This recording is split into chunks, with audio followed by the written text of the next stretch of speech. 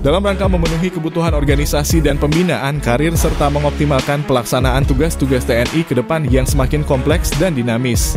Panglima TNI Laksamana TNI Yudo Margono kembali melakukan rotasi mutasi dan promosi jabatan di lingkungan TNI. Terdapat sebanyak 176 perwira tinggi dari matra darat, laut, dan udara. Mutasi dan promosi jabatan tersebut berdasarkan surat keputusan Panglima TNI nomor Cap garing 690 garing 7 garing 2023 tanggal 26 Juni 2023 tentang pemberhentian dari dan pengangkatan dalam jabatan di lingkungan TNI. Salah satu yang dimutasi dan promosi jabatan adalah Komandan Lanut Sulaiman, Kolonel Penerbang Abdul Haris, yang kini dipercaya menduduki jabatan sebagai Komandan Komando Sektor Ibu Kota Negara Koopsudnas. Itu artinya beliau akan promosi bintang 1 atau Marskal pertama TNI. Dan beliau juga akan tercatat Marskal pertama termuda dan tercepat di tubuh TNI Angkatan Udara. Bisa dikatakan beliau rising start dari rekan seangkatannya Akademi Angkatan Udara tahun 1998. Terbaik di atas lulusan terbaik.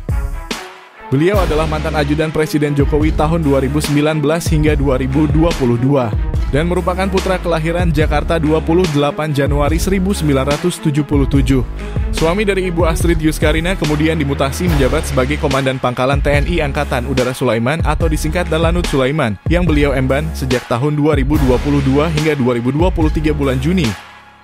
Karir beliau kian mengincar hingga tepat pada tanggal 26 Juni 2023. Beliau dipromosi menjabat Komandan Komando Sektor Ibu Kota Negara Koopsudnas. Sedikit tambahan informasi bahwa Komando Sektor Ibu Kota Negara atau disingkat KOSEK IKN merupakan satuan yang berada di bawah Komando Operasi Udara Nasional.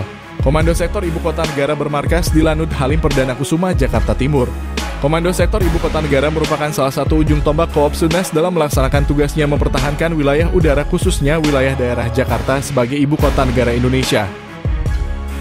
Itulah profil singkat dan perjalanan karir Marsekal pertama TNI Abdul Haris.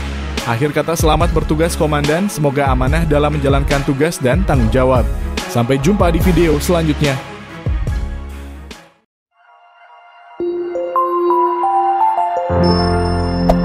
Hey there.